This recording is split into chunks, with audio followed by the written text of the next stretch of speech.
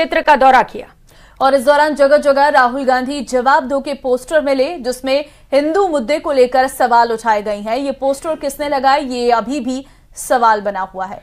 तो आपको बता दें कि रायबरेली में नेता प्रतिपक्ष राहुल गांधी से सवाल पूछते ही पोस्टर से सियासत आई है। ये पोस्टर मेरे ठीक पीछे आप देख पा रहे हैं। इसी पोस्टर को लेकर सियासत चल रही है। देखिए रिपोर्ट। मुझे ऐसा प्रतीत होता है कि राहुल गांधी जी डरे हुए हैं। माँ से बेटा बात करता है है ना? वैसे बात की है। लोकसभा में नेता प्रतिपक्ष राहुल गांधी अपने लोकसभा क्षेत्र रायबरेली पहुँचे। राहुल गांधी के रायबरेली दौरे के विरोध में तमाम हिंदू संगठनों ने पोस्टर लगाए। हिंदुओं को लेकर लोकसभा में दिए राहुल गांधी के बयान पर नाराज़गी ज़ाहिर कर रहे हैं। राहुल गांधी जवाब दो के पोस्टर लगाए गए हैं। हिंदू को हिंसक कहने से नाराज़ लोगों ने ये पोस्टर लगाए। पोस्टर में लिखा है, रायबरेली के हिंदू मतदाताओं ने अपने को हिंसक कहने के लिए आपको वोट नहीं दिया था। राहुल गांधी किस धर्म के हो? जवाब दो। शिव जी कहते हैं, डरो मत, डराओ मत। अभय मुद्रा दिखाते हैं। अहिंसा की बात करते हैं, त्रिशूल को ज़मीन में गाड़ देते हैं। और जो लोग अपने आप को हिंदू कहते हैं वो 24 घंटा हिं, हिंसा हिंसा हिंसा।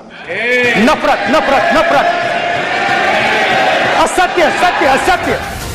कांग्रेस सांसद राहुल गांधी ने सदन में कहा था जो लोग अपने आप को हिंदू कहते हैं वो 24 घंटे हिंसा और नफरत करते हैं। आप हिंदू हो ही नहीं। इस दौरान प्रधानमंत्री मोदी ने खड़े होकर विरोध जताया था। उन्होंने कहा था पूरे हिंदू समाज को हिंसक कहना गंभीर विषय है। रायबरेली सांसद राहुल गांधी ने कैप्टन अंशुमान सिंह के परिवार से मुलाकात की। राहुल गांधी से मुलाकात के बाद शहीद की माँ ने राहुल की जमकर तारीफ़ की। उन्होंने कहा राहुल गांधी से मिलने के बाद लगा कि वो फौजियों को लेकर बहुत गंभीर है।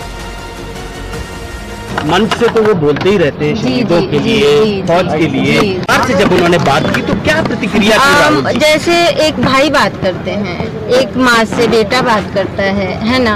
अ, वैसे बात की है इसलिए अ, मैं और भी इमोशनल हुई थी।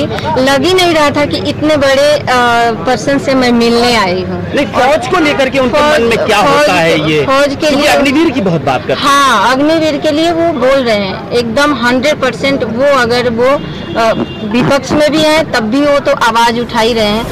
अपने संसदीय क्षेत्र रायबरेली पहुँचे राहुल गांधी ने। सबसे पहले हनुमान मंदिर में माथा टेका।